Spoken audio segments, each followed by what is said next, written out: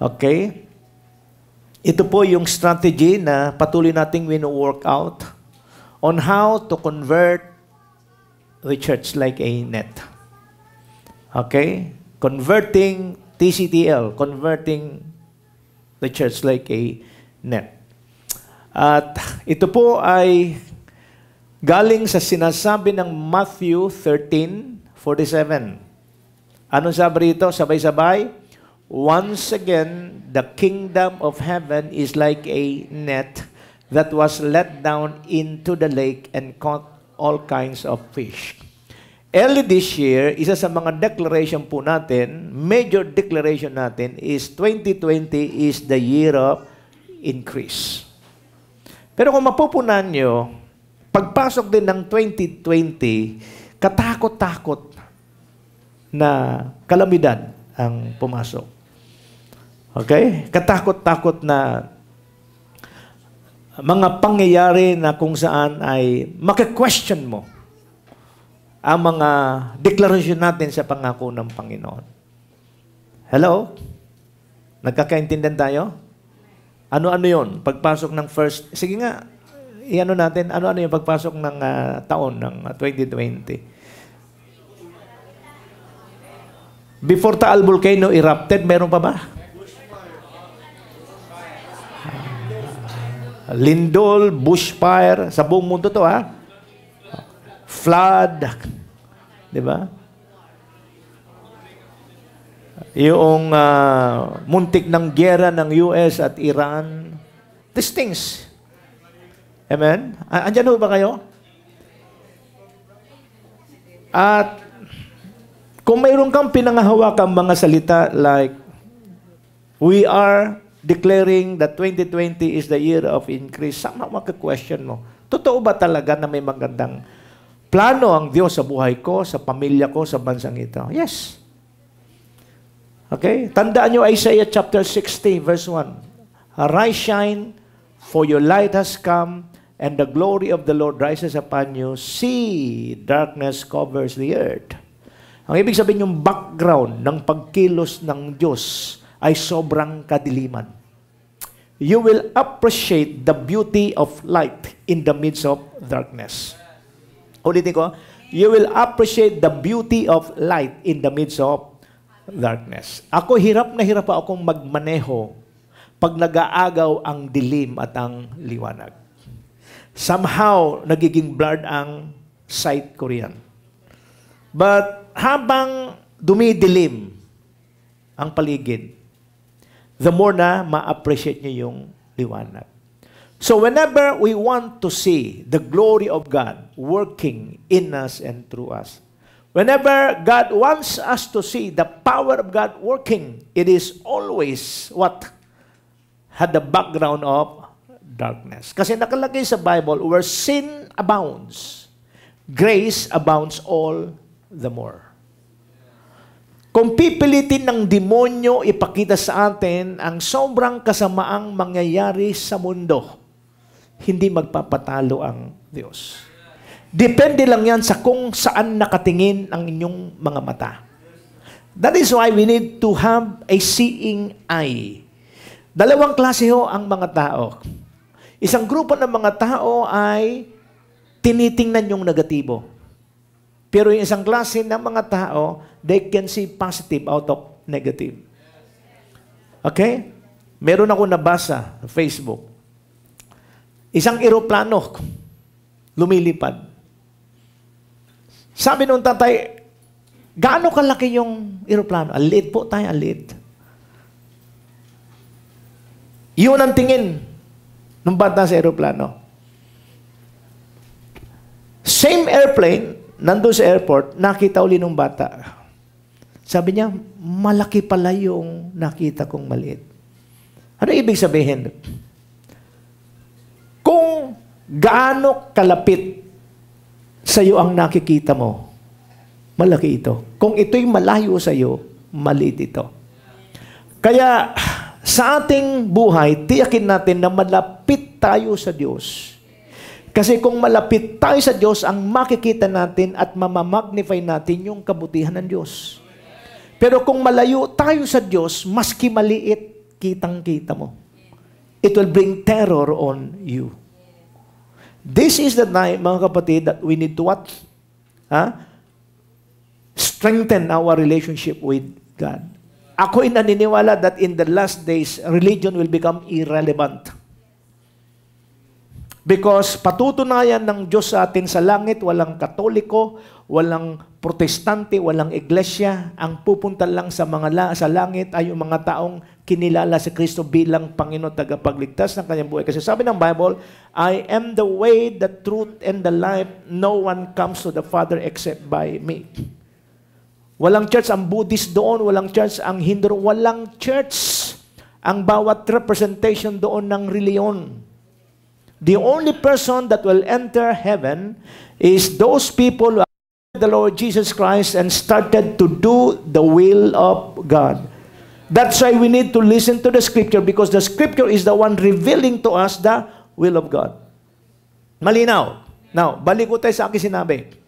Yung mga pangit na balita na nakikita, nababalitaan natin, it will continue. Okay? At mas matitindi pa ito. Kung tayo po ay walang relasyon sa Diyos, madali po tayong maapektuhan nito. At hindi lamang yon, kung tayo po ay hindi bahagi sa katawan ni Kristo, walang iba kundi yung kanyang iglesia, a group of people who are corporately worshiping God, mga kapatid, madali po tayong maapektuhan ng negatibong nangyayari. That is why I want you to understand this truth about the importance of local church. Because if you love God, Jesus Christ is the head of the church, and the church is His body. Hindi pwede, sinasabi mo mahal mo ang Diyos, pero detached ka, disconnected ka sa spiritual family mo. Hindi pwedeng sabihin ng mahal mo ang magulang mo, pero hindi ka nakatira sa bahay mo. Maski na sabihin mong OFW ka, kung mahal mo ang magulang mo, bagamat nagtatrabaho ka sa ibang bansa dahil sa pangangailangan, but deep within your heart, kung may choice lang kayo, hindi kayo mag-abroad, gusto nyo laging kasama ang pamilya. Because inseparable ang family sa magulang. Inseparable ang church sa Diyos. Christ is the head of the church, and the church is the body of Christ. If Christ is the head and the church is the body, hindi pwedeng, ano, putol ang ulo sa katawan. So, again, gusto ko ho na maintindihan natin to, if you love God, you must also love the church. And what is the church? The church is the spiritual family that you need to belong. Now, totoo na ang church is composed of people na may mga weakness at hindi pa perpekto. Tingnan nyo katabi nyo. Eh kung nagkataong kilala nyo, baka tisod kayo. Okay? Pero ganun pa man, mga kapatid, sa kabila ng pagiging imperfect at pagkakaroon natin ng weakness, hindi ibig sabihin noon nilayuan tayo ng Diyos. God is still committed to what? Do His work so that one day, just Christ said, be perfect, for your Father in heaven is perfect. One day, we will come to that place of perfection. Amen? How? Just continue to move with God. Just continue to move on and move forward. A righteous man may fall seven times, but he will rise again. Madali tayong matuto sa ating mga pagkakamali. And if we will allow our mistakes of the past na mangyari uli sa atin ngayon, hindi lang tayo patuloy na masasaktan, kundi ano? Patuloy natin pinapakita sa ating sarili sa mga tao na bobo tayo. Bakit? Hindi ka natututo sa iyong mga pagkakamali. Amen? Andiyan ba kayo? That is why it's very important for us to understand what God is doing and what God will do to the church. Now, balik tayo. Once again, the kingdom of heaven is like a net that was let down into the lake and caught all kinds of fish. Itong net na tinutukoy ko rito is a church. So God wants the church, your local family to be what? Converted like a net. Okay? Once again, the kingdom of heaven is like a net. Ano ang gamit ng net? To let down into the lake and what? Caught all kinds of fish. So if the church is the net, you are the net. Okay? If the church is the net, you are the net. At ano ang gustong mangyari ng Panginoon sa net? Na walang iba kundi ikaw? Let down to the lake. Ibig sabihin, God wants to use you na ano? Makahuli ng isda. God wants to use your life. Okay? To what? To let others know and experience Christ. How? By testifying to them that the Lord God is good. Okay? By testifying to them that the Lord our God is good. Now, tingnan natin. What is a net? A net is a is used to catch fish. Tama ba? Ang net o lambat ay ginagamit sa panguhuli ng isda. Dalawang klase ang paraan ng panguhuli ng isda. Dito sa picture na to, ano makikita nyo? Namimingwit. Okay? Yung pamimingwit is a picture of what? A Christian na ano? Ha? Personal siyang nag evangelize One-to-one. Okay? At marami sa atin marahil naranasan ito. Ako, ang alam ko, kaya ako nakakilala sa Panginoon kasi somebody shared with me the gospel. Ang pagkakilala ko kay Kristo ay hindi katulad ng pagkakilala ni Pablo na habang naglalakad, biglang mayroong liwanag, hello, at siya'y nasilaw at siya ay nabulag. At sabi, Who are you, Lord? I am the Christ whom you are persecuting. Masyadong uh, phenomenal yung klase ng conversion niya. Bihira lang yung mga taong ganun ang paraan ng pagkakilala. Most of us nakakilala kay Kristo because somebody shared with us the gospel. Pwedeng kaklase, pwedeng kaibigan, pwedeng katrabaho, pwedeng kasambahay o kamag-anak. O pwedeng hindi mo kilala. Okay? And then, nung makakilala ka sa Panginoon, out of your zeal, out of your faith, out of your love for God, natuto ka rin mag-testify. Most of us, ganito yung picture ng paraan ng pangingisda. Ano nakikita nyo? Ito yung pangalawang paraan. Mangisda sa pamagitan ng lambat. Alin ang maraming huli? Yung huli mula sa pamimingwit o yung huli mula sa lambat? Mas marami ang huli sa lambat. Pero mayroong mahabang proseso para makagawa ka ng lambat. Madali lang ang proseso pag namimingwit. Nalala ko nung mayroong kaming outreach sa Babangad, Bulacan, nanghiram pa ako ng makabagong bingwit. Yung mayroong pang So, pag nag-mission kami sa Bulacan, dala-dalo ko yan. Nakasakap ako sa MRT, sa LRT noon. Ang yabang ko, naka... okay. So, pagpunta ko sa babangad, namimingwit ako, katabi ko yung mga bata. Yung mga katabi ko, ang gamit, pat-pat lang. Tsaka, pambiram, halos minuto mayroon silang nahuhuling tilapia. Ako isang oras na wala pa akong nahuhuli. So, hindi ito depende sa ganda ng Pamingwit. Ito'y nakadepende sa kaalaman ng taong namimingwit. Maski maganda yung pamingwit mo, kung hindi mo alam kung paano mamingwit, wala ring mangyayari. So, ito yung pangalawang klase ng panguhuli ng isda through a net. Pero may proseso.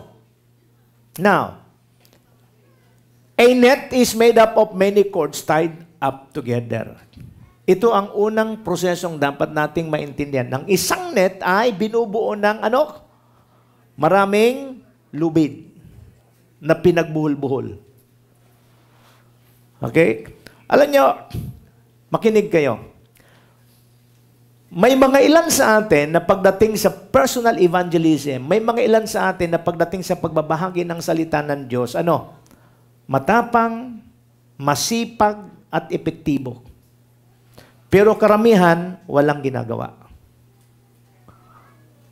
Ngayon, kung pababayaan lang natin yung mga masipag, matapang, at epektibo na gumawa sa pag-evangelize, minimal lang ang resulta.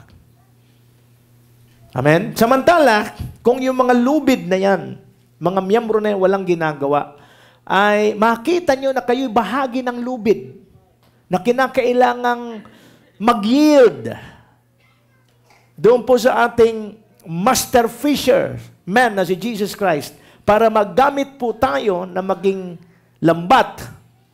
Naniniwala ako, darating ang araw, mas marami ho tayong mahuhuli kaysa doon sa paisa-isa. So pag-usapan natin yung proseso. Paano ba nagkakaroon ng lambat? A net is made up of what? Many cords tied together. Ayan. Nakikita nyo? Yan ang lambat. Pero ang lambat ay binubuo ng mga lubid. Anong ginawa sa lubid? Pinagbuhol-buhol hanggang sila'y maging isa. Pero nung hindi pa sila pinagbuhol-buhol, marami sila. Tama? Tama. Naalala ko, dinala ko mga kabataan sa isang camp sa Bicol. Kung naalala niyo ba yun, Aris? Yung campsite namin nasa tabing dagat. Nung hapon, uh, mayroong mga fishermen na kung saan ay hinihila na yung kanilang lambat. Ang daming huling dilis. So tumulong ang mga kabataan, sila Aris, tumulong silang naghila. Okay? Ang daming huli. At kung di ako nagkakamali, binigyan din tayo ng isang balding, isang balding dilis. So it's it's an ex, one an experience, no? Isang karanasan na hindi basta-basta naranasan ng mga kabataan sa Manila kasi karamihan sa atin puro kain lang ang alam. Uh, hindi lang kain kundi pati ulo. Wah, ba't may ulo? Lalo na sa Amerika, Western country, hindi mo pwedeng hayaan, hainan yan ng mga yan ng isda na may ulo. Kaya mas sa mga canned goods nila, pag isda, dapat walang ulo. Hello? Andiyan ho ba kayo? Pag ang isda, walang ulo, hindi isda yon. so, yan o. Ang lambat ay binubuo ng maraming lubid na pinagbuhol-buhol. Pero yung pagbuhol-buhol, hindi lang basta buhol. May sukat yan. Kung gusto mong malalaking isda, medyo ang puwang ng pagkabuhol-buhol medyo malaki. Pero kung gusto mo maliit, ang puwang ng pagkakabuhol-buhol maliliit. Okay. Pag-usapan natin, since ang dragnet ay binubuo ng lubid, puntahan muna natin ang lubid. Yan ang lubid. Siya ay binubuo ng tatlong hibla. Sa tingin nyo, kung isang hibla, matibay? Bakit ba ang lubid, tatlo ang hibla? Bakit hindi dalawa? Bakit kinakailangang tatlo? Alam niyo bakit? The one may be overpowered two can defend themselves. But a cord of three strand is not quickly broken. Yan ang paliwanag ng Biblia. Bakit ang lubid tatlo hibla? Kasi kung isa lang yan o dalawa lang yan, madaling maputol. Pero kung tatlo yung hibla na bumubo sa lubid, hindi siya ganong kadaling maputol o mapigtas. Anong ibig sabihin niyan? Ang isang mananampalataya, kung sila lang, wala silang kilala sa church, hindi sila connected by relationship sa ibang mga miyembro ng church, madaling mawala yan. Ang ibig kong sabihin, huwag mo sabihin sa aking matagal ka na kay Lord at matagal ka na sa church. Pag hindi maganda ang kalidad ng relationship mo sa kapwa Kristiyano mo sa loob ng church, pag na-magnify yung katitisuran, palibasa wala kang relationship sa Kanya, madali kang kumalas. At kanon lang kung bakit maraming Kristiyano nakakilala na kay Lord, naniniwala sila sa minsay, pero magugulat ka, bigla na lang mawawala. You know why? Huh? Because there is no relationship. When there is no relationship, you are easily offended. And when you are offended dahil wala hong relationship na pipigil sa'yo sa paglabas, madali ka lumabas. Now, tandaan nyo to. Hindi ko ginagaran na sa pagdalo nyo, pawang magaganda sa pandinig, pawang magaganda sa pakiramdam ang maririnig nyo sa akin. Hindi ko ginagaran Kasi alam ko trabaho ko. Ang trabaho ko, ipangaral ang salita ng Diyos. At ang salita ng Diyos may apat na gamit. 2 Timothy 3.16 All scripture is God-breathed. It's profitable for teaching, rebuking, correcting, and training. Sa apat na gamit o layunin ng pangangaral ng salita ng Diyos, isa lang ang maganda sa pandinig. Yung rebuke, correct, training, resistant yung ating human nature. So, maging handa kayo makinig sa akin at tanggapin nyo ang katotohanan that three-fourth or 75 of my messages will surely disturb you, offend you. Not for the purpose of pulling you down, not for the purpose of belittling you. Hindi para maliitin kayo. Okay? Kundi para ano? Baguhin ang isipan nyo sa layuning tayo po ay magbago. Pero na-realize ko, ang tao, hindi ganong kadaling magbago. Kinakailangan buksan mo ang kanilang mga mata. Pero ang iba, kinakailangan pa bang saktan bago mabuksan at maunawaan ang katotohanan. Masabi ko nga, this is human nature.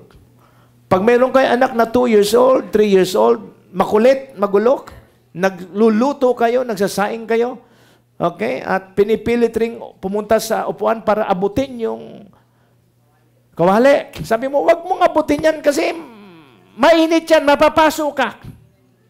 But because of immaturity, ano nangyayari? Pinipilit niya hanggang marinig mo na lang umiiyak. Bakit umiiyak? Inawakan yung kawali. Pero matagal mo na sinasabi, huwag mong hawakan yan, ma, ma, ma, ma, mainit yan. Pero nakinig, hindi pa rin nakinig sa iyo. Sa ano nangyari? Napasok. May mga tao katulad ng bata, hanggat hindi nila nararanasan ang sakit ng pagsuway, hindi susunod. Hello? Ganyan ang maraming tao, hindi lang kristyano. Nung malakas sinasabihan mo magtino ka, huwag kang magbisyo. Nung malakas sinasabi mo, nung bata-bata pa sinasabi mo, ituwid mo ang buhay mo sa Diyos. Pero ayaw makinig. Why? Kasi mayroong dalang pleasure ang kasalanan. I am a living example kasi biktima ako ng katigasan ng ulo. Kinakailangan maputulan pa ako ng kamay dahil sa aking kasalanan, dahil sa aking kat- Katigasan ng ulo. Pwede naman maglingkod daw kay Lord na kumpleto kamay. Kaya lang walang magagawa. Ba- bakit? I'm so stubborn.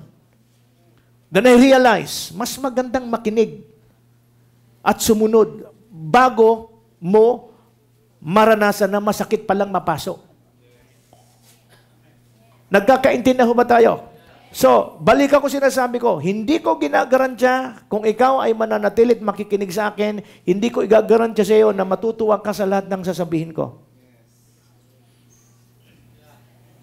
Bakit? Kasi ang trabaho ko, i-address ang mga inaccuracy, i-address yung mga mali, i-address yung mga bagay na hindi tama sa pamamagitan ng salita ng Diyos. I'm not yet perfect. May weakness rin ako. Pero wala akong magagawa. That is the job I receive from God. And I'm also accountable to God sa lahat ng aking ginagawa. So God knows how to deal with me. But the point is, makinig kayo, we need to be a part of a local church.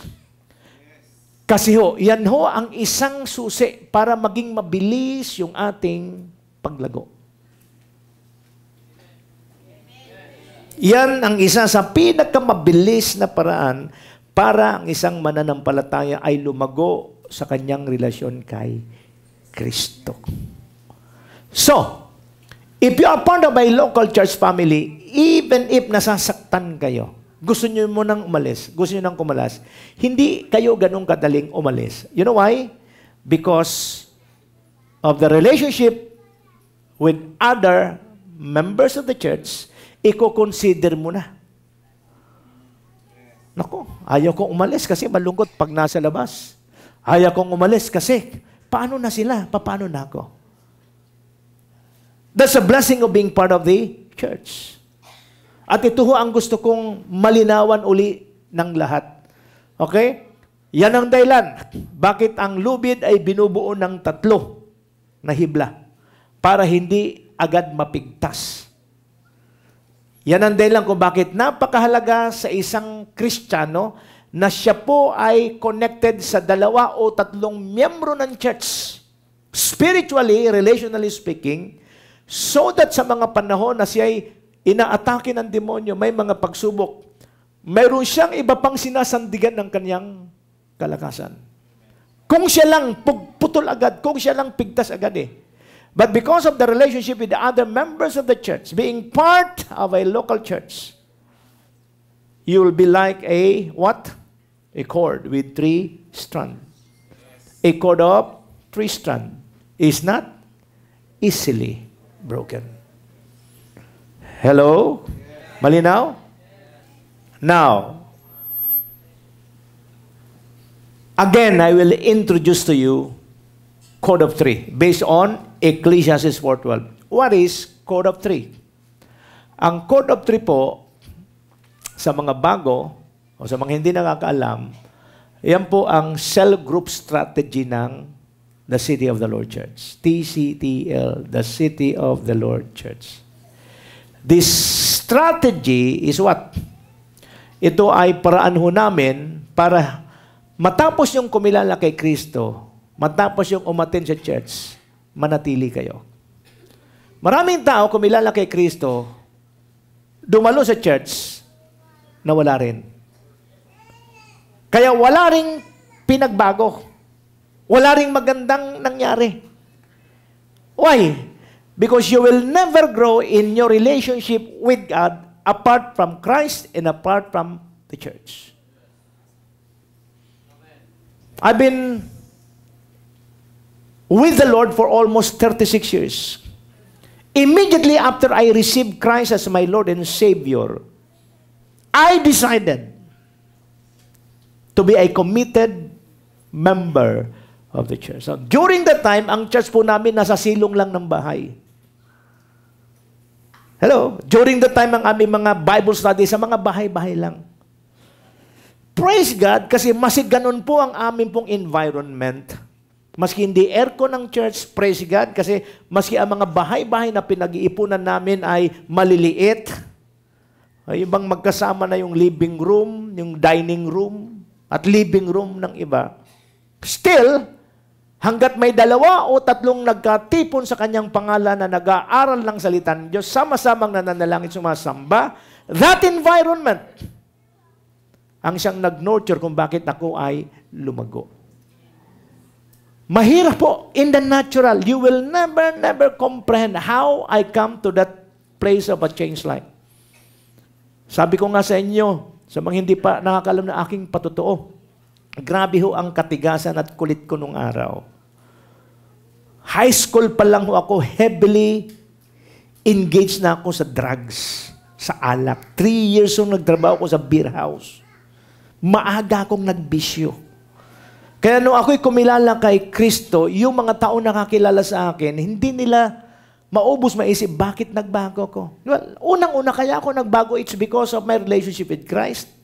At nako-kompleto yon because I stayed in the church.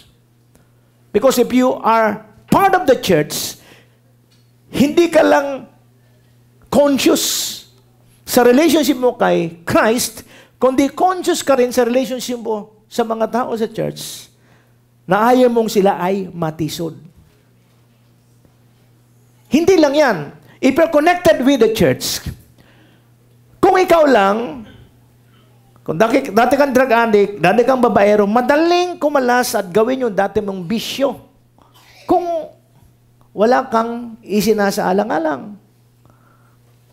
But because of this newfound relationship with Christ and the brethren, mga kapatiran, this time, bagamat tinutokso ka, bumalik sa dating bisyo, hindi mo na magawa.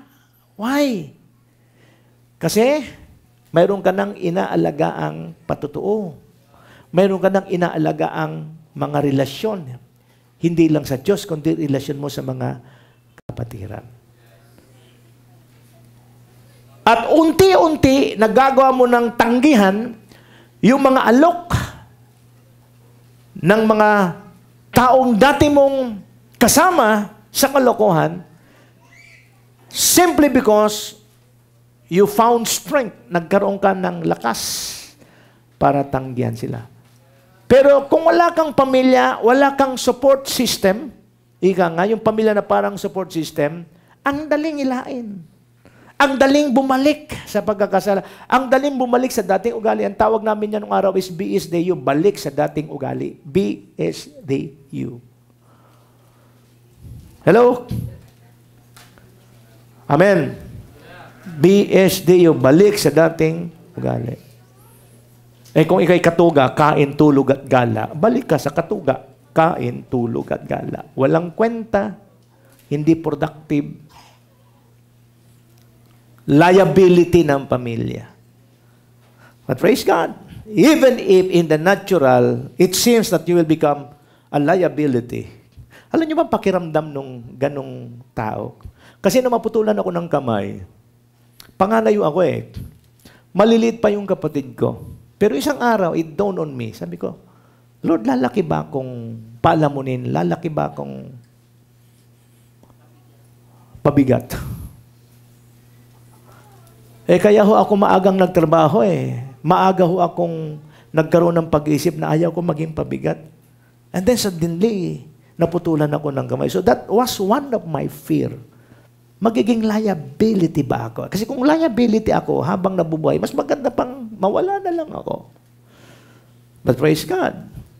That question, sinagot ng Panginoon, na kung ikaw ay na kay Kristo, hindi ka magiging liability. You will become an asset Palapakan natin, Lord. You will become an asset. You will become a blessing. You will become an empowerer. Amen? And praise God. Maski na ako ay may kapansanan, but I know many are being affected by what God is doing in me. Many are inspired. Hindi lang sa church, kundi sa ibang lugar. Pero sa lahat ng ito, pag binabalikan ko how God works in me and through me, It's because of the blessing of being connected. Early in my relationship with God, na-realize ko, ang laking pagpapala po kung sa sandali na kayo'y tumanggap kay Kristo, you committed yourself immediately in a local church. Alam niyo kung saan ang church namin nung araw? Sa Baklaran pa. Ang gawain po namin nung araw ay nasa bahay-bahay lang. Sa baklaran pa kami nagpupunta sa silong din ng isang bahay. Kami nila Brother Andy nung araw. Namamasahay pa kami. Walang sasakyang sumusundo. Walang sasakyang sumusundo. Wala, wala, walang libreng kape.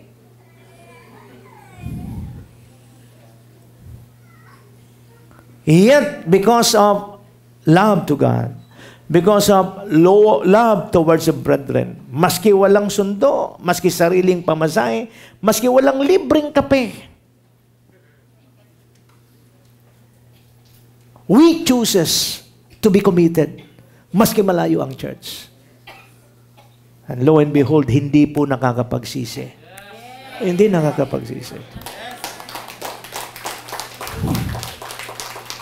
So I trace back yung blessing ng maturity at stability ng spiritual life ko after my relationship with God is restored through the Lord Jesus Christ. Yung pong maging bahagi ng local church. Okay, I allow myself to be connected by personal relationship sa ibang mga kapatiran.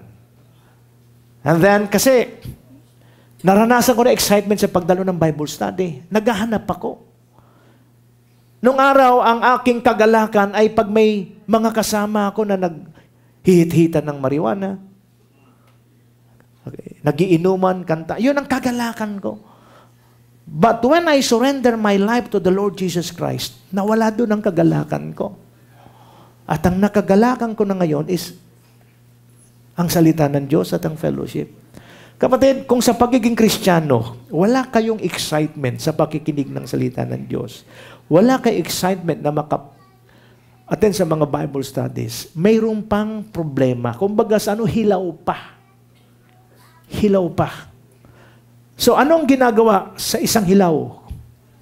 Patuloy na lutuin. Kumbaga sa kilawin, pag medyo kulang pa sa asim, ibabad sa suka o kalamansi. So, ang ibig sabihin niyan, pag hindi mo pa maramdaman yung excitement every Sunday, yung excitement na mayroong mga pastor, kapatiran na bumibisita at nagba-Bible study sa'yo, kailangan nyo pang i-marinate sa salita ng Diyos. Kaya sinasabi ng Bible, ano, huwag ninyong kakaligtaan ang mga pagtitipon. Kasi pag may ganitong pagtitipon, hindi ka lang nananalangin, hindi ka lang sumasamba, kundi nakikinig ka ng salita at ang salita ng Diyos, yan ang siyang parang nagmamarinate hanggang isang araw, magkalasa ka. Ano ibig sabihin magkalasa ka? Magkaroon ka ng desire. Gusto kong dumalo. Gusto kong mag-pray. Gusto kong mag gusto kong dumalo sa mga gawain. Not because there is joy and happenings. Let's say this coming Sunday, we choose to celebrate our anniversary in Batis ng Makiling. Sino pa ho ang hindi nakakaalam, hindi pa nagpapalis na? Once every two years, at least ang ating celebration ay outdoor family day. Outdoor. Okay? Mayroon pa rito hindi pa nagpapalista, gusto sumama, pero hindi pa nagpapalista? Mayroon ba? Taas ang kamay. Kasi nasa 200 pa lang yata, eh, no? Okay? 217. Okay? Mayroon pong mga area pastor sa inyong lugar. Makipag-usap po kayo. Magkano ang ano? Magkano? 500 andun na yung sasakyan, entrance fee, yung sama-samang cottage, no? Pero ang pagkain kanya-kanya. Okay? Kasi yung 500, imposible namang lahat na sa 500, no? Wala, uh, nasa, uh, hindi ho tayo nabubay sa 1990s. Eh, kasi naalala ko, nagkakam kami sa nagkarla nung araw. Ang singil ho namin sa pagkain, 3 days, 2 nights, 100 lang. 100 lang singil Eh, alam ko, dahil ako na in charge sa kusina eh. 3 days, 2 nights, 100 lang. Ganun ho ka, baba. But praise God, mura pa nga yun. Kung may sarili kayong sasakyan, 250 lang. Well, what's the point? Bahagi ho kasi ng gusto ng Panginoon, ang iglesia ay merong isang kultura na hindi boring sa church. Hindi boring ang maging Kristiyano, hindi boring ang maging part ng pamilya ng Diyos. the most the, the most exciting life is to be in Christ. No, ako po'y wala kay Kristo, masyadong limitado ang aking mundo. Ang mundo ko, beer house. Ang mundo ko, yung mga barkada ko. Ang mundo ko, isang lugar lang. Pero nung mga kilala ko kay Lord, diba, ang laki pala na mundo. Sa sobrang laki, hindi ko mapuntahan lahat. Hello? But if the people na hindi naiintindihan yung klase ng buhay na na kay Kristo, ang tingin nyo, ano, bo- boring, wala excitement. Sino may sabi? Ha? Siya may sabi, ang sarap mabuhay ng naglilingkod. Ang sarap maging kristyano. Masarap sapagkat biologically, isa lang ang tatay at nanay mo. But if you found a relationship with Christ, yung mga matatandang kapatiran, you can what? Call them father, mother. They will call you brother, sister, anak. So mas malawak ang pamilya. Kaya maski saan ako magpunta, Local man o abroad, may pamilya ako. Pero kung nanatili ako sa buhay ko nung araw, ay, ang liit ng mundo ko. Baka sa sobrang late, nasa kulungan ako ngayon. Ay, hindi, hindi, hindi imposible yun because of my lifestyle before.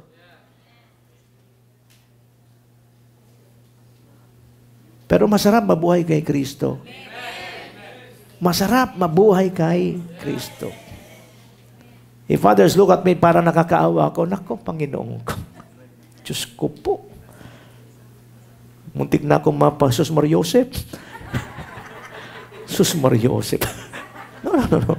I'll never, never, hindi ko pagpapalit ang buhay ko ngayon na kay Kristo kaysa buhay ko noon na wala ako kay Kristo. And one of the greatest blessing na naranasan ko is to be with the family of God. Amen? Code of three. Yan ang strategy po ng the City of the Lord Cell Group. C3 is a relational based system. C3, pag sinabing C3, hindi yung katulad ng C6, yung C3 nasa Caloocan. Hindi circumferential road. Ang ibig sabihin ng C3 is chord of 3. It is a relational based system involving a minimum of 3 and maximum of 12 person committed to fellowship regularly and reproduce more C3.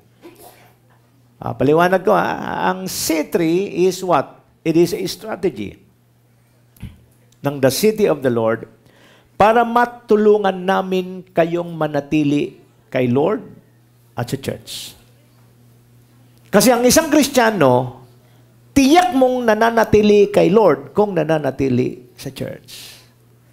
Hindi pwedeng sabihin ng isang Kristiyano na nananatili kay, kay Lord, wala siya sa church.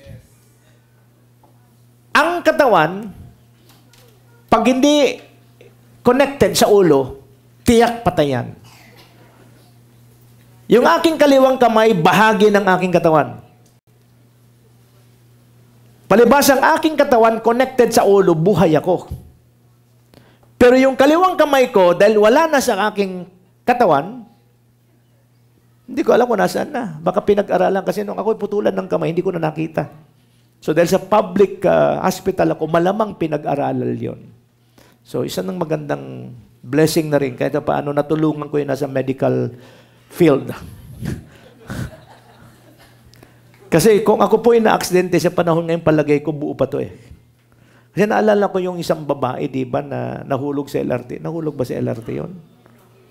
Uh, tama, nahulog, di ba? Naputulan ng kamay. Nalaglag talaga yung kamay eh. Pero naibalik pa rin eh.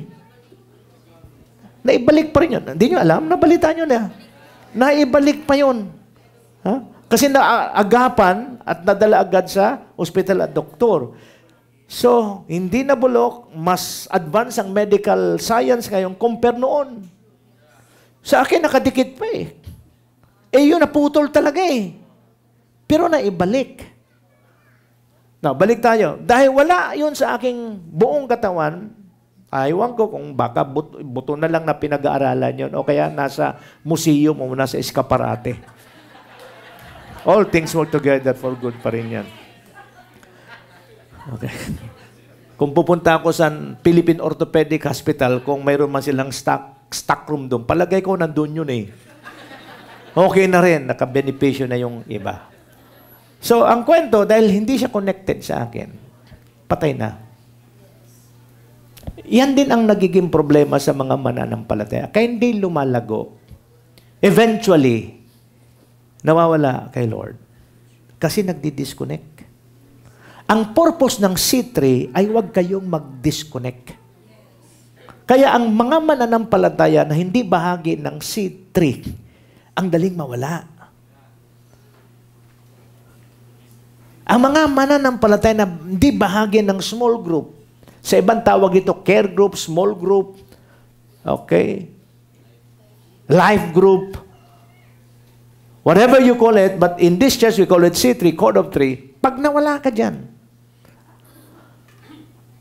ang hina ng ugat mo, ang babaw ng espiritualidad mo. Kaya pagdating ng bagyo sa buhay, hangin, bagyo, alon, Palibasa, hindi ka lumalago. Walang magandang environment, atmosphere that will help you grow in your relationship with Christ. Pagdating ng bagyo, ng pagsubok, pati ugat, tanggal. That is why, sinasabi sa Bible, dalawa o tatlong nagkatipon sa kanyang pangalan. Ako'y nasa kanilang kalagitnaan.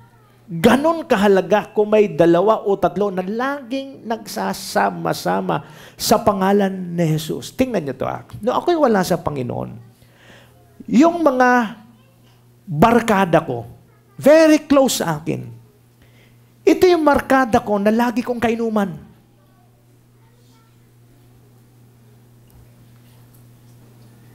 Yung mga kumpare ko, ito yung mga kasama ko noon sa bisyo.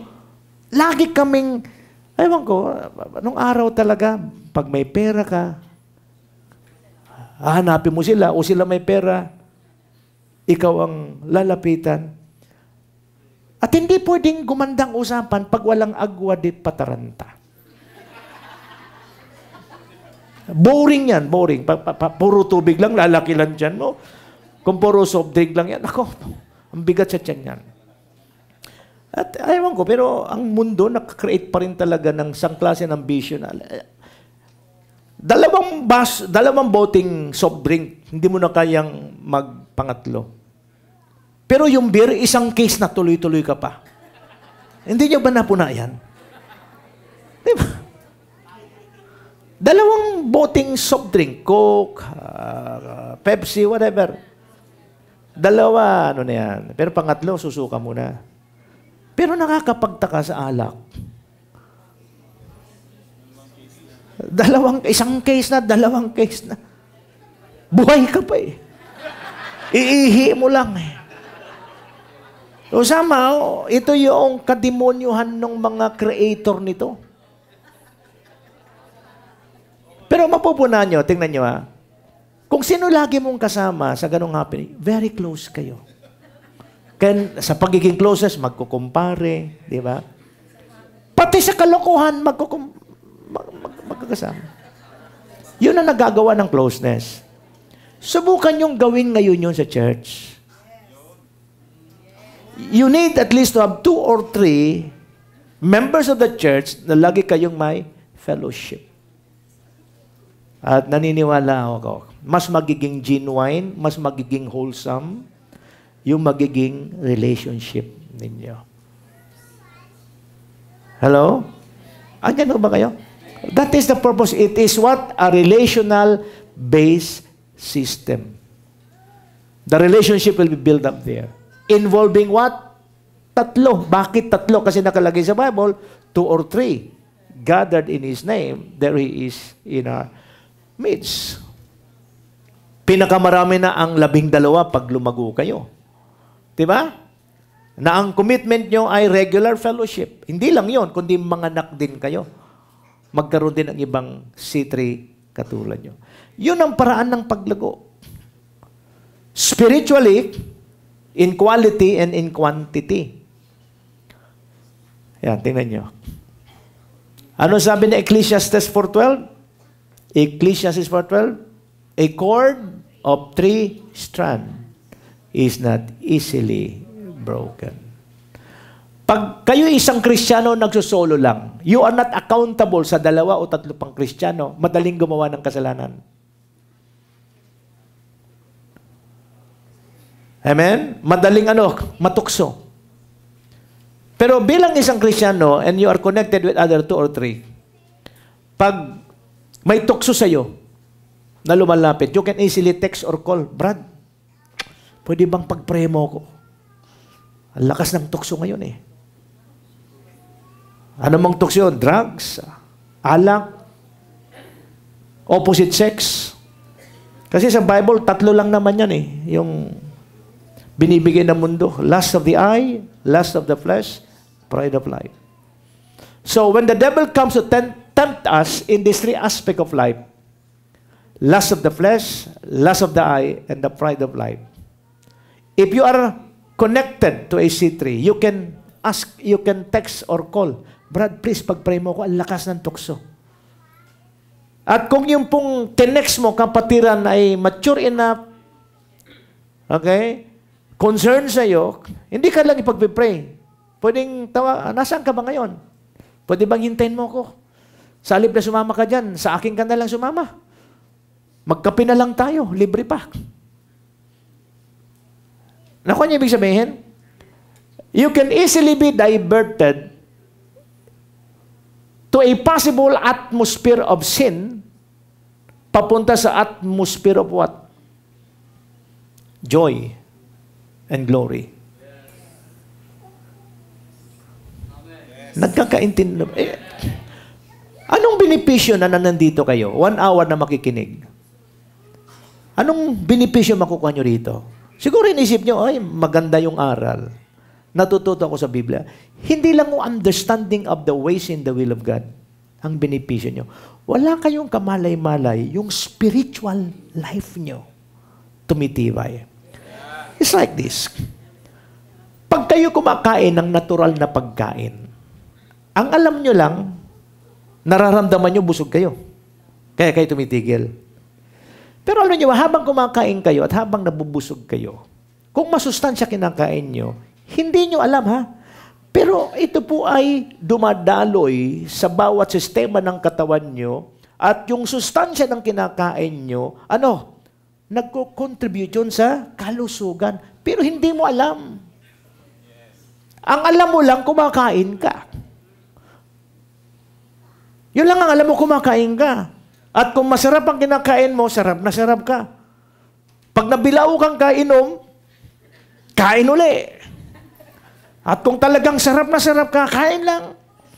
Busog ka na dahil masarap. Gusto pa kumain? Okay? Titigil ka lang pag kinumpara mo na yung tigas ng tiyan mo sa noo mo, pareho na, ah, okay na, titigil na ako. Hanggat hindi matigas ang tiyan sa kasintigas ng noo, tuloy pa. That was the problem of the Roman Empire. Yung Roman Empire nung araw, palibasa sila yung nandun sa taas, sila yung makapangyarihan, sila masagana, busog na. Lamon pa ng lamon. And then later on, alam natin sa ating panahon, ano, karamihan sa ating sakit dahil sa ating kinakain.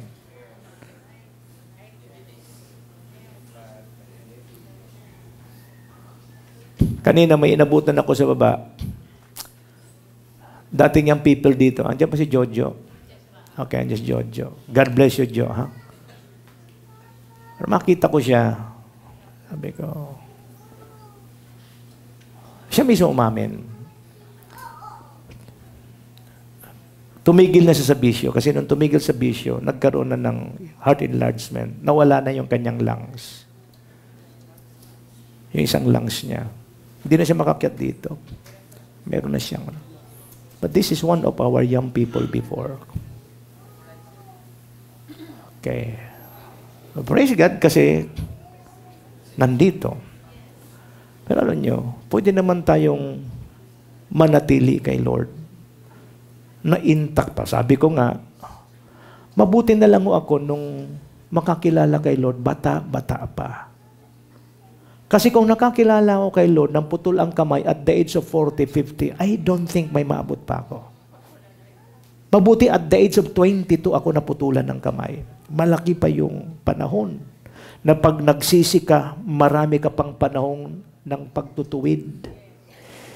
Eh, paano kung matanda na? Isang malaking problema pag may edad ka na, nakakilala kay Lord, ang hirap ng baguhin ang isip mo. Lalo na kung ang nangangaral sa iyo, mas bata pa sa iyo. I mean, the time of restoration, the time of restitution, masyado ng maikli. Kaya hindi na natin maranasan dito sa lupa yung pangako ng Lord na ano, I come that you might have life and have it more abundantly.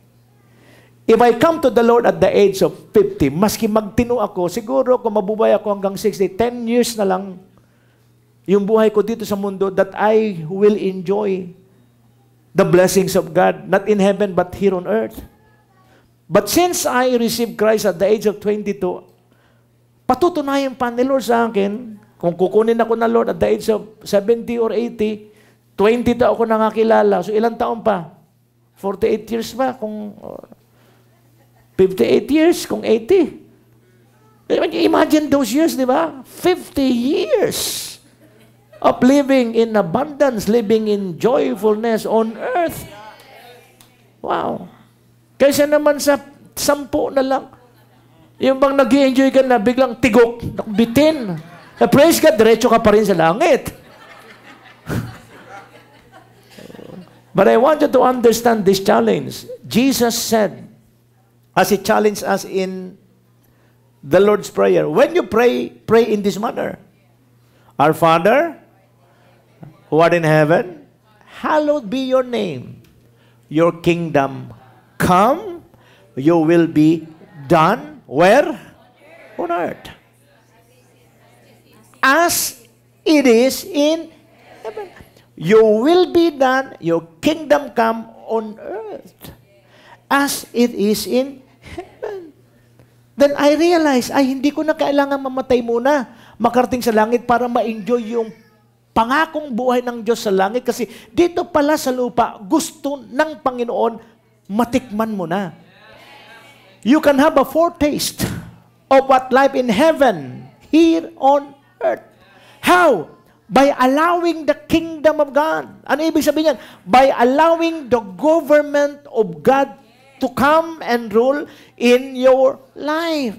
So paano mo i-allow ang government of God, the rule in the uh, in the reign of God in your life? By first allowing the king of the kingdom, Jesus Christ is the king.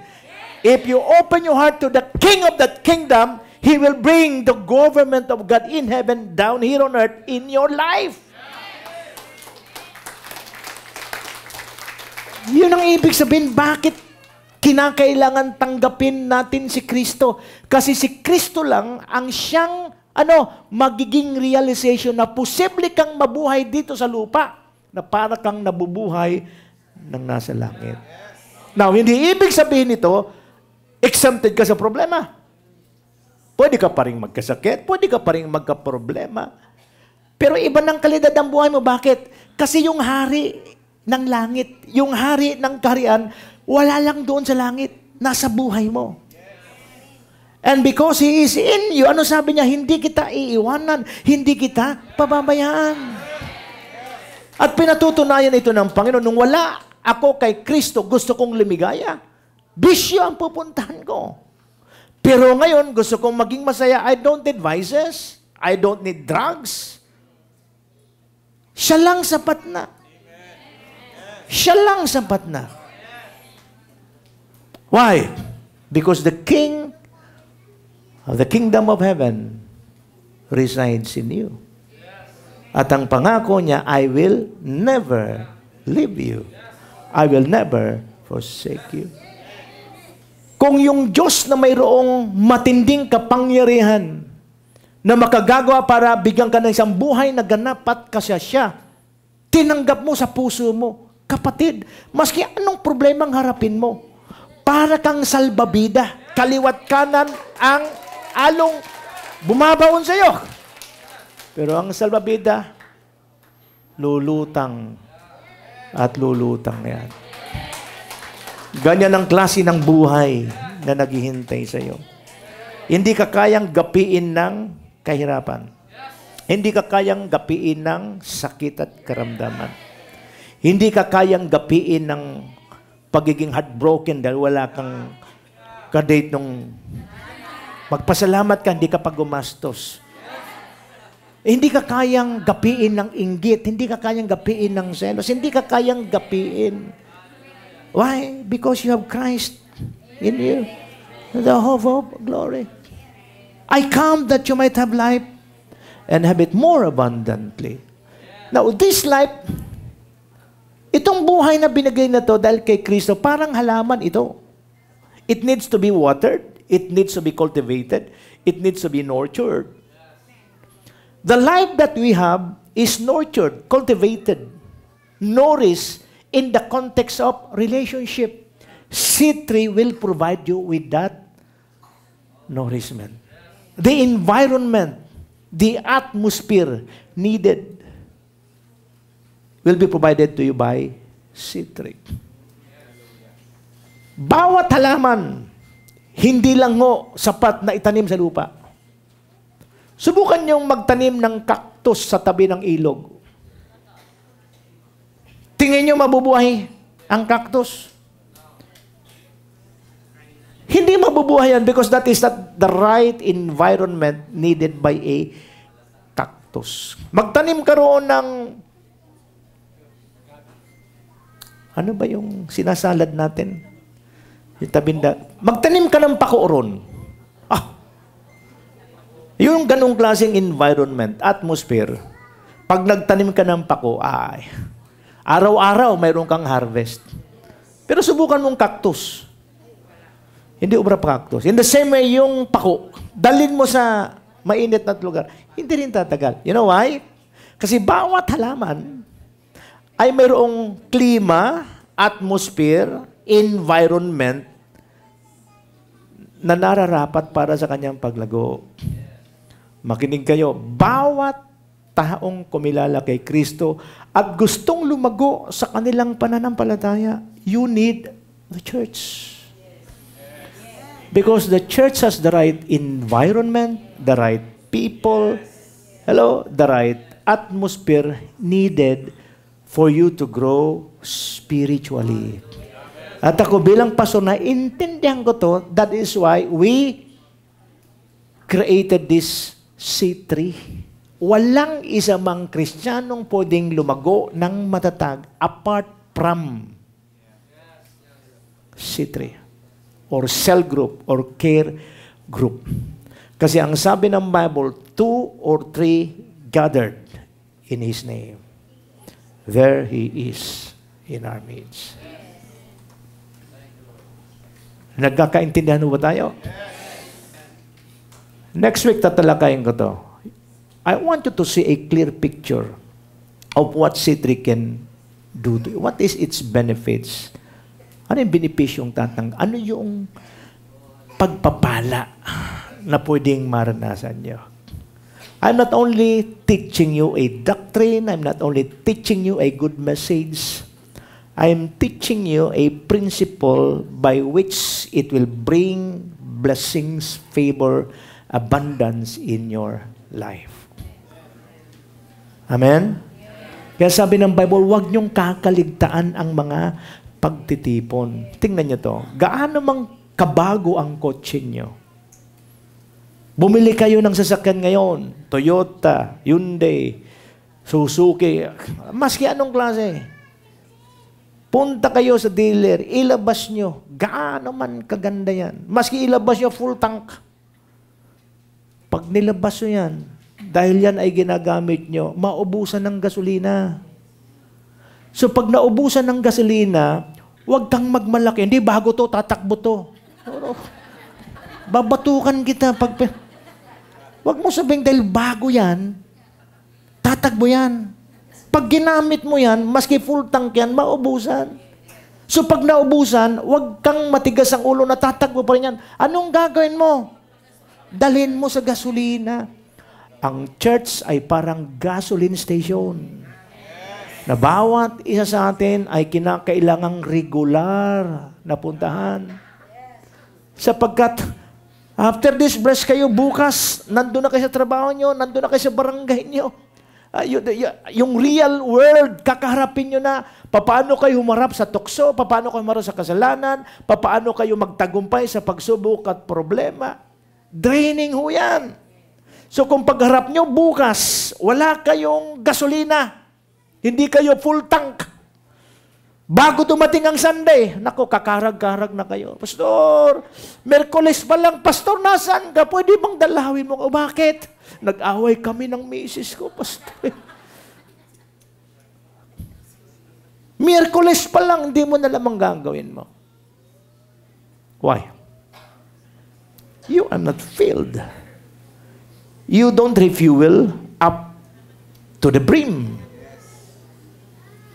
This is the purpose why church is very important. It is like a gasoline station that every automobile kinakailangang puntahan not on a seasonal basis, but on a regular races. For what purpose? Refueling. Bakit kailangan ng refuel? Para makaabante ka uli. Na makinig kayo, ang isang bagong sasakyan, makinig kayo ha, ang isang bagong sasakyan, pag laging walang gasolina, maski na yan, hindi mo mapapatakbo yan. Maski bago yan, pag hindi mo na pinapatakbo, mas madaling masira yan. Kaya maraming tao nakakilala na kay Kristo, tamad dumalo sa gawain ng Panginoon, tamad umaten sa mga Bible study, pakikinig ng salita ng Diyos. Para silang sasakyan, madaling masira. Pak! Ang hina. Pak! Ay, no fuel.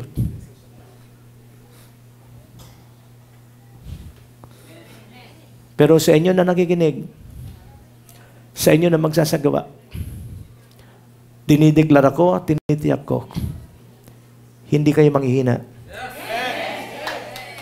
Hindi kayo madaling matisod. Lalakas kayo, lalago kayo, mamumunga kayo. Sa inyong pamumunga, iisa lang ang lalabas sa bibig nyo. Mga patutuo patungkol sa kabutihan ng Panginoon. Mga patutuo patungkol sa katapatan ng Panginoon. Kaya pag darating kay rito every Sunday, sama-sama tayong aawit, inaawit natin the goodness of God. Habang inaawit mo yung the goodness of God mula sa iyong puso, talagang inaawit mo to, naninanamnam mo, hindi katulad ng iba masyadong reliyoso, umaawit, ngawa ng ngawa, pero walang emosyon, walang damdamin. Oh, God, when we worship Him, kinakailangan with all of your heart. Love the Lord your God with all of your heart, soul, and strength. One of the purpose why we come to church every Sunday is to express and demonstrate that love through worship. We are using songs to raise that worship. Okay, di ba? Nung kayo po hindi pa mag-asawa, lahat na mag-asawa rito, di ba mayroon kayong mga theme song? Yeah. And you are using this theme song na ano, as a means para maging malapit kayo sa isa't isa. Uh, every time you sing that song meaningfully from your heart, ang purpose mo para maniwala talaga siya. Uh, hello? Of course, depende lang sa team song nyo. Pero ikaw yung tipo na laging mayroong kasalanang ginagawa sa jowa mo, palagay ko ang team song mo, gusto kong bumait, di ko magawa. Pag ganun ang team song mo, palagay ko yung spouse mo, yung, yung kapartner mo, mukhang... ano bang kasalanan mo? Sabihin mo nga sa akin, bakit ganyan lagi ang gusto kong bumait, di ko magawa. So, depende sa team song. Pero kung yung mga team song mo eh, you're the best thing that ever happened to me. Hallelujah. Di ba? Kinikilig si Purita yun.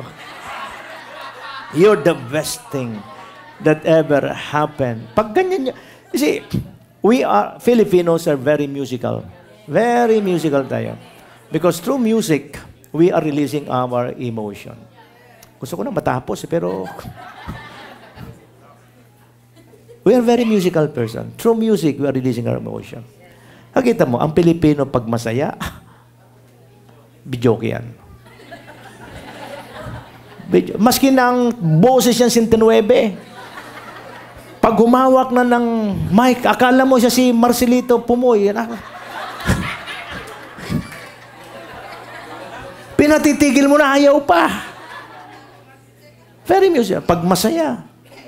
Pag na-in love, lalo na. Maski hindi marunong kumanta, talagang, di ba? Ay, pag nalungkot, mayroon din yan. May kanta rin pamal. Sa patay, hindi nawawala yun. Di ba? Lahat ng klase ng kanta, mayroon tayo, depende sa emosyon natin. Depende sa presenting kalagayan ng damdamin natin. Kaya lang, pag wala kayong relasyon kay Kristo, hindi nyo ma-express yun because you don't know how. Alam nyo, simple lang eh. Balikan natin yung ginagawa natin kung wala tayo kay Kristo. Di ba? Halimbawa sa relationship. Paano mapapaibig yung tao? Giving gifts. Sabi ko nga, yung theme song is part of human relationship. Di ba? Ganon din kay Lord. Pag kayo pupunta sa church, handa kayong ipahayag yung pag-ibig niya. Mas hindi nyo alam yung kanta, pinag-aaralan nyo. Pinag-aaralan nyo. Mas hindi nyo alam ang lyrics. Unang pasada, hindi nyo alam ang lyrics, pero binabasa nyo. Pangalawa, pangatlong pasada, makakasabay na kayo. Yan ang purpose bakit meron tayong projector. Mapalad nga kayo, may projector kayo. Nung panahon namin dito, Manila paper. Kawawa naman yung tag... Hindi siya makakanta. Uulit pa. Pag inulit, balik ulit. Ganon kami noon. So, nag, ano, nag-improve. Acetate naman. Acetate. Eh, pag ginalaw, biglang nabusted yung ano, ah, wala na. Mapala do kayo. I mean, God is so good na tinutulungan tayong maging madali. How we express our love, our devotion. Kaya lang, pag wala talaga kayong relation kay Kristo, hindi nyo ho ito magagamit. Hindi nyo ito magagamit. Kaya kita nyo, ha? yung mga taong wala kay Kristo, ang lakas ng loob kumanta pag may video okay mapatino, lalo na paglasing. Uh, kasi ang pakialam. Maski pinagbabawal na sa batas, hanggang alas 10 lang, walang ala alas 10. Dalin mo sa church, ang bait. But if that person, if that person will have a relationship with Christ, nakalabas na ako kayo, pauwi na kayo sa bahay. Ang ganda nung kanta kanina, di ba? Ano ba yon? Tingnan ko nga sa Facebook, tingnan ko nga sa YouTube the goodness of God. Sabi siya. Naliligo ka na, bukas pa yung cellphone mo, the goodness of God, the goodness of God. Amen? Andiyan ba kayo? Nagpapahinga, buksan ka uli YouTube doon. Ang dalay na nga ngayon, eh, YouTube mo lang, the goodness of God. Lilitaw na yan. Okay, so it gives you an atmosphere that helps you what? Worship God. You are using songs to release your love and your devotion. Pero itong mga to is best practice developed in the context of a local church. Minsan, kung tayo lang, medyo naasiwa pa tayo eh. Pero pag marami tayong nagkakantahan, lahat nakikita mo, harap, likod, kaliwat, kanan, nagtataas ng kamay. Tama? Nakatingala, nakapikit. Ikaw nakahalukip-kip. Di ba? So, mafe-feel mo sarili mo, out of place ka. Pero nandun ka na. So, napupwersa ka na, ano, gayahin yung nagtataas ng kamay. Amen? Tumingin na rin dito sa projector. Kumakanta ka na rin. Kumbaga sa uling, unti-unti ka na rin nagbabaga. Yung uling hindi ganun kadaling magbaga. Idarang mo sa apoy ganyan din yung pagsamba. Yan po ay nangyayari in a local church context. Yan ay nangyayari sa mga C3. Kaya napakalaga, if you want to grow in your relationship with God, in your spiritual life, being part of the church, being part of C3 is a must. It is not an option. It is a must. Tayo lahat ay tumayo. Hallelujah. Thank you, Lord. Pasalamatan natin si Lord. Hallelujah. Oh, We worship you. We worship you, Almighty God. We give you praise. We thank you for your word. We thank you for your spirit, oh God. They are life. They are spirit. Every time we listen to your word, Every time we open our heart, na bagamat minsan nasasaktan kami, tinatamaan kami. Pero sa kabila nito, tanggap namin, maski nasasaktan kami. Lord, nagbibinipisyo kami rito. At ang binipisyo nito, hindi lang binabago ang aming isip, kundi Panginoon, naglilikha ka ng isang prinsipyo ng pamumuhay na kung lalakaran namin, makakapagpatotoo kami, sooner or later, masarap mabuhay kasama ng Diyos. Makakapagpatutuo kami patungkol sa katapatan, kabutihan, kahabagan ng Diyos. At sa sandali na maranasan namin ang iyong katapatan, then we'll realize how foolish we are na naspend namin ang aming buhay sa matagal na panahon na wala sa iyo. At doon, makakapagpatotoo ka. Sayang, bakit ngayon lang ako tumanggap sa iyo? Anyway, ang isang maganda, you are now being confronted with the Word of God. At sa pagkakataong to, magdesisyon ka lang. Ang iba sa inyo, tinanggap na si Kristo, pero marahil may ilan dito na hindi ganun kaseryoso nung tanggapin mo si Kristo. Hinahamon kita sa pagkakataong to. Simulan mong seryosohin. Kasi pag sinimulan mong seryosohin ang Diyos, siseryosohin din ng Diyos ang pagpapala, ang pabor na gusto niyang ibigay sa iyo. What you sow is what you reap.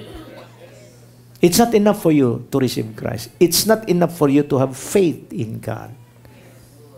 Ang sabi ng Bible, tinatawag mo ko Panginoon, Panginoon, pero hindi mo naman sinusunod ang aking kalooban. This time, seryosohin mo. Lord, I want to do your will.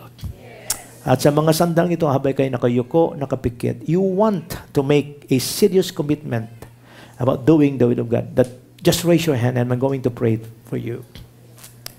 Father, you have seen this hand being raised unto you. Ikaw ang nakakakilala sa kanila mula pa sa pagkabata. Ikaw din ang nakakaalam ng kanilang pamumuhay ngayon. Pero lingid sa kanilang kaalaman, as far as you are concerned, napakaganda ng buhay na naghihintay sa kanila. Pero magagawa lang nilang marating at maranasan to kung lalakaran niya ang iyong prinsipyo. At ang prinsipyo niyan ay matututunan niya, Panginoon, if He will not only commit to you, but He will also commit to the teachings, messages in a local church. Habang tinataas nila ang kanilang kamay, habang ang kanilang puso'y bukas na nananalangin sa iyo. Prove to them, patunayan mo, O Diyos, na ikay buhay. Bilang isang buhay na Diyos, maglikha ka sa kanila ng kakaibang uhaw at gutom ng iyong salita that in just a short time they will feel Father God the blessing of transformation. Others around them will see the change and transformation sa kanilang buhay. I pray in Jesus' mighty name na habang ang mga kamay na yan ay nakataas, ng may pagpapakumbaba. Ang karihan ng Diyos ang masaganang dadaloy sa kanilang buhay. Dahil ang iyong gobyerno, ang iyong karihan, ay dadaloy sa kanilang buhay. Even if Sunday lang sila nakakapunta rito. Pero bawat araw sa kanilang tahanan, sa kanilang pinagtatrabuhan, there is a voice behind them saying, This is the way, walk in it. There is that consciousness and awareness about what is right and wrong. And not only the consciousness of right and wrong, but they will receive strength and power to do what is right. They will have the power to resist what is wrong for them to know truly God is with me. Yan ang mangyayari sa buhay mo. Pag seryoso mong tinanggap si Kristo, yan ang mamaranasan mo. Pag seryoso mong ginawa ang kalooban ng Diyos. Salamat, Ama, sa mga babae at lalaki na nagtaas ng kanilang kamay, nagkaroon ng commitment. At naniniwala po ako that they have enough strength, grace, para Panginoon sa, pala, sa isang linggong darating. Ihanda mo sila, Panginoon, for our next Sunday family day. Give them provision, give them health, prepare physically, spiritually, bring their whole family, and let Sunday, Father God, next Sunday be a day wherein joy, strength, happiness, excitement will be our portion. In Jesus' mighty name, this is our prayer. Amen. God bless us all.